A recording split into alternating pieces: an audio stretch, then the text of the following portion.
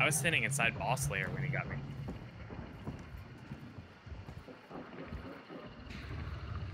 You're burning him.